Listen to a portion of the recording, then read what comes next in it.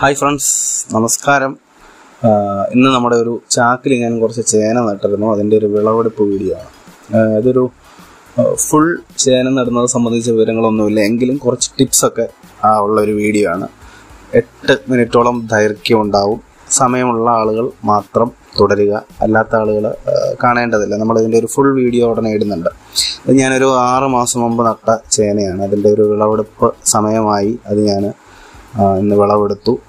നല്ല അത്യാവശ്യം വലിപ്പമുള്ള ചേന കിട്ടി. ഇത് ഞാൻ ടെറസിലല്ല താഴെയാണ് നട്ടിരിക്കുന്നത്. പക്ഷേ ചാക്കിലാണ് നട്ടിരിക്കുന്നത്. അത് എന്തുകൊണ്ട് നട്ടിരിക്കുന്നു എന്തുകൊണ്ടാണ് താഴെയായിട്ടും മണ്ണിൽ നടാ നടാതെ ചാക്കിൽ നട്ടത് തുടങ്ങിയ വിവരങ്ങളാണ് ഈ വീഡിയോയിലൂടെ പങ്കുവെക്കുന്നത്. ഇതെന്റെ ഒരു പുതിയ ബാച്ചാണ്. ആറുമാസം മുമ്പ് നട്ട നാല് ചേനകളിൽ ഒന്നാണെന്ന് ഒന്നാണ് നമ്മൾ വിളവെടുത്തിരിക്കുന്നത്. ഇതിപ്പോൾ ഞാൻ കഴിഞ്ഞ രണ്ട് മാസം മുമ്പ് നട്ടിരിക്കുന്ന ചേനയാണ്. ഈ പറയുന്നത് പോലെ ചാക്കുകൾ വലിയ ചാക്കുകൾ അരിച്ചാക്കുണ്ട് അതിലാണ് നട്ടിരിക്കുന്നത്. അത് ഒരു രണ്ട് മാസമായപ്പോഴേക്കും ഇതാ ഈ ഒരു സ്റ്റേജിലേക്ക് എത്തിയിട്ടുണ്ട്. ആദ്യത്തെ ഒരു മാസം ചേന നമ്മൾ നട്ടിട്ട് അത് നിശബ്ദനായിട്ടിരിക്കും. മണ്ണിൽ അതിന്റെ വേരുകളൊക്കെ ഒന്ന് ഓടിത്തുടങ്ങുകയാണ് ഒരു മാസം കഴിയുമ്പോഴേക്കും അതിന്റെ മുകളങ്ങൾ മുകളിലേക്ക് പൊങ്ങി വന്നിട്ട് ഒരു രണ്ട് മാസമൊക്കെ ആകുമ്പോഴേക്കും ഇതാ ഇതേപോലെ ഇല വിടർത്തി നിൽക്കും. ഞാൻ ഇത് നമ്മൾ ഇതിന്റെ നടിയിൽ വസ്തു എന്ന് പറയുന്നത് ചേന തന്നെയാണ്. വിത്ത് ചേന എന്നൊക്കെ പറഞ്ഞിട്ട് സെപ്പറേറ്റ് വാങ്ങിക്കാൻ കിട്ടുമെങ്കിലും ഞാൻ കടയിൽ നിന്നൊക്കെ കിട്ടുന്ന ചേന തന്നെയാണ് ഉപയോഗിച്ചിരിക്കുന്നത്. നോർമലി മണ്ണിലൊക്കെ നടുന്ന ആൾക്കാർ ഒരു കിലോ വലിപ്പമുള്ള പീസുകളാണ് നടുന്നത്. പക്ഷെ ഞാനൊരു അര കിലോ മാത്രമാണ് ഉപയോഗിച്ചിരിക്കുന്നത്. അവർക്ക് അവരെ സംബന്ധിച്ച് അഞ്ചും ആറും കിലോ വലിപ്പമുള്ള ചേന ഔട്ട്പുട്ട് കിട്ടണമെങ്കിലേ അവർക്ക് മുതലാകത്തുള്ളൂ. നമ്മളെ സംബന്ധിച്ച് അത്രയും വലിപ്പമൊന്നും വേണ്ട. കുറച്ചു മതി. അതുകൊണ്ട് ഞാനൊരു അരക്കിലോടെ പീസ് അരക്കിലോ കിലോ തന്നെ ധാരാളമാണെന്നുള്ളതാണ് എന്റെ ഒരു അനുഭവം.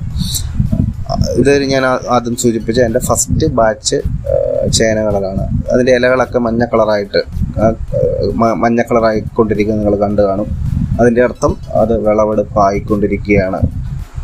ഇത് അതിൽ ഞാനിപ്പോൾ നമ്മളിപ്പോൾ വിളവെടുക്കാൻ പോകുന്ന ചേന അതിന്റെ തണ്ട് മുറിച്ച് നിർത്തിയിരിക്കുകയാണ്. ഇതൊരു ടിപ്പാണ്. ആറ് മാസമാണ് ഇതിന്റെ കാലയളവ്.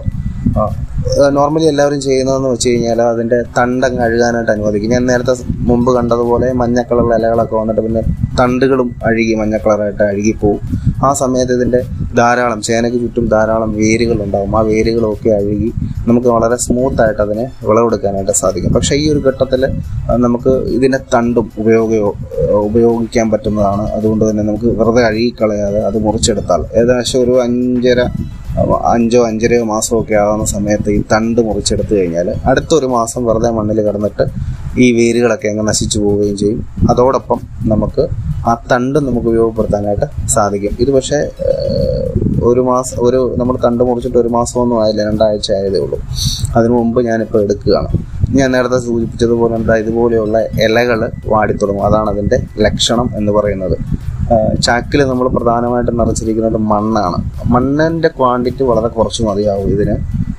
ഉണങ്ങിയ കരിയിലകൾ ഉണ്ട് എങ്കിൽ അത് കൂടുതലായിട്ട് നമുക്ക് ഇതിലേക്ക് ഉപയോഗപ്പെടുത്താനായിട്ട് സാധിക്കും. നോർമലി നമ്മുടെ ഒരു സീസൺ എന്ന് പറയുന്നത് കുംഭമാസം. കുംഭമാസത്തിലാണ് നോർമലി എല്ലാവരും നടുക. ചേനയുടെ സീസൺ അതാണ്. പക്ഷെ നമുക്ക് ഈ ഒരു വീട്ടിൽ നമ്മുടെ ആവശ്യത്തിന് വേണ്ടിയിട്ട് നമ്മൾ ഈ വലിപ്പമൊന്നും അധികം വക വയ്ക്കാതെ വലിയ വലിപ്പമൊന്നും വേണ്ട ചെറിയതൊക്കെ ആയാലും കുഴപ്പമില്ല എന്ന രീതിയിലൊക്കെ നമ്മൾ നടുകയാണെങ്കിൽ ഏത് സമയത്തും നടാം ഞാൻ വളരെ ഇപ്പം തുടർച്ചയായിട്ട് കുറച്ച് ചെയ്തുകൊണ്ടിരിക്കുകയാണ്. ഇതാ ഇതേപോലെയുള്ള ഞാൻ ആദ്യം സൂചിപ്പിച്ചല്ലോ ഇപ്പം മുളച്ചു വരും എന്നുള്ള കാര്യം. അത് അതുപോലെ വന്നാണ് ഇത് കണ്ടത്. അത് ആക്ച്വലി ഞാനത് കുറേ എല്ലാം എഡിറ്റ് എടുത്തിട്ട് പിന്നീട് അത് എഡിറ്റ് ചെയ്ത് വോയിസ് ഓവർ കൊടുക്കുകയാണ്. അപ്പോൾ അതാണ് ഒരു ഒരു സിങ്ക് ആകാത്തത്. നമ്മളുടെ ആ ഒരു ആ ചേന നമുക്കൊന്ന് എടുക്കാം. വിളവെടുപ്പ് എന്ന് പറയുന്ന ആ ഒരു ഘട്ടമാണിത്. ഒരു ചാക്കിലാണ് ഇത് നട്ടിരിക്കുന്നത് വേണമെങ്കിൽ നമുക്ക് ചാക്ക് കമഴ്ത്തി ഇത് വളരെ ഈസി ആയിട്ട് എടുക്കാൻ പറ്റും. പക്ഷേ ഞാനിത് അങ്ങനെ എടുക്കുന്നില്ല. കാരണം അത്യാവശ്യം വെയിറ്റ് ഉണ്ട് ഇതിന്. അതുപോലെ തന്നെ ഈ മണ്ണും ഇതിൽ ഞാൻ ആദ്യം ഇട്ടിരിക്കുന്ന ഇതിന്റെ വളം എന്ന് പറയുന്നത് മണ്ണാണ് കൂടുതലായിട്ടും ഇട്ടിരിക്കുന്നത്. അതുപോലെ തന്നെ ഉണങ്ങിയ കരിയിലുകൾ ധാരാളം ഇട്ടിരുന്നു. അതുപോലെ തന്നെ ആട്ടിൻ കാഷ്ടം ചാണകപ്പൊടിയോ ആട്ടിൻ കാഷ്ടമോ നിങ്ങൾക്ക് എന്താണോ അവൈലബിൾ ആയിട്ടുള്ളത് അത് ഇടാം. അത് കിട്ടിയില്ല എങ്കിലും കുഴപ്പമില്ല. ധാരാളം കരിയിലുകൾ ഇട്ടാൽ മതിയാവും. അതോടൊപ്പം തന്നെ ഞാൻ ഇതിനകത്തൊരു അൻപത് ഗ്രാം വേപ്പൻ പിണ്ണാക്കും അൻപത് ഗ്രാം എല്ലുപൊടിയും ഇതിൽ കൊടുത്തിട്ടുണ്ടായിരുന്നു. അതിനുശേഷമാണ് മുകളിലേക്ക് ചേന നട്ടത്. അപ്പം നമ്മൾ ആ കൊടുത്തിരിക്കുന്ന അടിവളങ്ങളൊക്കെ ഇപ്പോഴും മണ്ണിൽ കിടപ്പുണ്ട്. അത് നമുക്ക് അടുത്ത അത് വേണമെങ്കിൽ വീണ്ടും അടുത്ത ഒരു ബാച്ച് കൂടി നമുക്ക് ഉപയോഗിക്കാനായിട്ട് സാധിക്കും. അപ്പം അതുകൊണ്ട് തന്നെ ഞാൻ ഈ എന്താ ഇങ്ങനെ ആ തിരിച്ചിട്ട് അങ്ങനെ എടുക്കുന്ന ഒരു പരിപാടിയിലേക്ക് പോകുന്നില്ല. ശ്രദ്ധാപൂർവം ചുറ്റുമുള്ള മണ്ണ് മാറ്റി. ആ വേരുകളൊന്നും അധികം ഇപ്പോഴും അഴുകിപ്പോയിട്ടില്ല. ഞാൻ ആദ്യം പറഞ്ഞിരുന്നത് തണ്ട് മുറിച്ചിട്ട് രണ്ടാഴ്ചയായുള്ളൂ. ഒരു രണ്ടാഴ്ച കൂടി കിടക്കുകയാണ് എങ്കിൽ അത് പൂർണമായിട്ടും അതിന്റെ വേരുകളെല്ലാം അഴുകി നമുക്ക് വളരെ സ്മൂത്ത് ആയിട്ട് എടുക്കാനായിട്ട് സാധിക്കും. ഇപ്പോൾ ഒരു അത്യാവശ്യം വേരുകളൊക്കെ ഇപ്പോഴും അതിന്റെ സൈഡിൽ നിൽപ്പുണ്ട്. അതുകൊണ്ട് തന്നെ നമുക്കൊരു ശകലം ബുദ്ധിമുട്ടാണ് ഇതൊന്ന് എടുക്കാനായിട്ട്. പിച്ചാത്തിയൊക്കെ കൊണ്ട് അതിന്റെ ഇതിന് കേടുപാടുകൾ സംഭവിക്കാതിരിക്കാനായിട്ട് ശ്രദ്ധിക്കണം. പിന്നെ ഒരു കാര്യം കൂടിയുണ്ട്. ഞാൻ താഴെ നട്ടിട്ട് എന്തുകൊണ്ട് ചാക്കിൽ നട്ടു? അല്ലേ? അതിന് ഉത്തരവെന്ന് പറയുന്നത് മണ്ണിൽ നട്ട് കഴിയുമ്പോഴേക്കും ധാരാളം ഈ ഒരു കരിക്കൻ എന്നൊക്കെ പറഞ്ഞ ജീവിയുടെ ആക്രമണം ഉണ്ടാകാറുണ്ട്. അതുപോലെ ചേന പെട്ടെന്ന് അഴുകിപ്പോവുക എന്നൊക്കെ കണ്ടിട്ടുണ്ട് കേടുവരുമെന്ന് ചെയ്യുന്നു ചേനയ്ക്ക്. പക്ഷേ നമ്മൾ ഇങ്ങനെ ഞാൻ ചാക്കിൽ നട്ടിട്ട് ഞാൻ നോക്കിയിട്ട് എനിക്ക് വളരെ എന്താ എല്ലാം നമുക്ക് ഉപയോഗിക്കാനായിട്ട് സാധിക്കുന്നുണ്ട്. ഒട്ടും ഈ ഒരു കീടത്തിന്റെയും ആക്രമണം ഇല്ലാതെ ചേന നല്ല ഭംഗിയായിട്ട് വൃത്തിയായിട്ട് നമുക്ക് കിട്ടുന്നുണ്ട്. ഇത് ശരിക്കും ഒരു വേണമെങ്കിൽ ഒരു മാസം കൂടെ നമുക്ക് ഇടാം.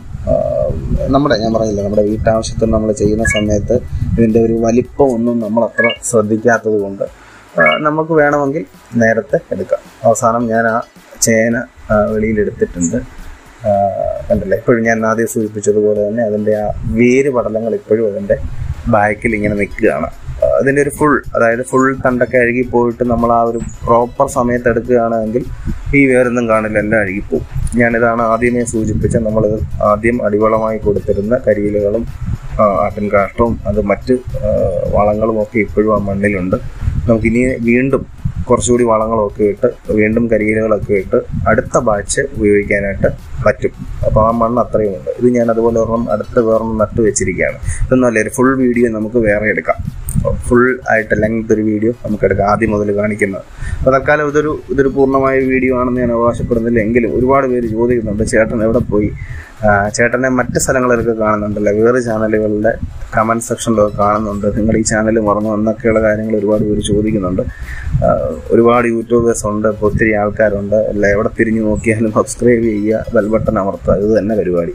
അപ്പം സ്വാഭാവികമായും നമുക്കൊരു മടുപ്പ്. പിന്നെ എങ്ങനെയും വീഡിയോ ഉണ്ടാക്കുക അത് ഇടുക എന്താ പറയുക കുറേ ഈ ഇൻകം ജനറേറ്റ് ചെയ്യുക അതൊന്നുമല്ല നമ്മുടെ ലക്ഷ്യം. ഇതാണ് ഞാൻ സൂചിപ്പിച്ചത് ഇതാണ്. ആ ചെടി അതിന്റെ ഒരു പൂർണതയിലേക്ക് എത്തുന്ന എന്നതിന്റെ ഒരു ലക്ഷണമാണ് ഇതുപോലെ ഇലകൾ കരിഞ്ഞു വരിക. ഇത് ഫുള്ളങ്ങ് ഇലകൾ കരിഞ്ഞിട്ട് തണ്ടൊക്കെ അഴുകിയിട്ട് ചേന നമുക്ക് വിളവെടുക്കുക എന്നതാണ് നോർമൽ പ്രൊസീജിയർ മനസ്സിലായില്ലേ? അപ്പോൾ നമുക്ക് അടുത്തൊരു എപ്പിസോഡിൽ വീണ്ടും കാണാം. എല്ലാവർക്കും നന്ദി നമസ്കാരം.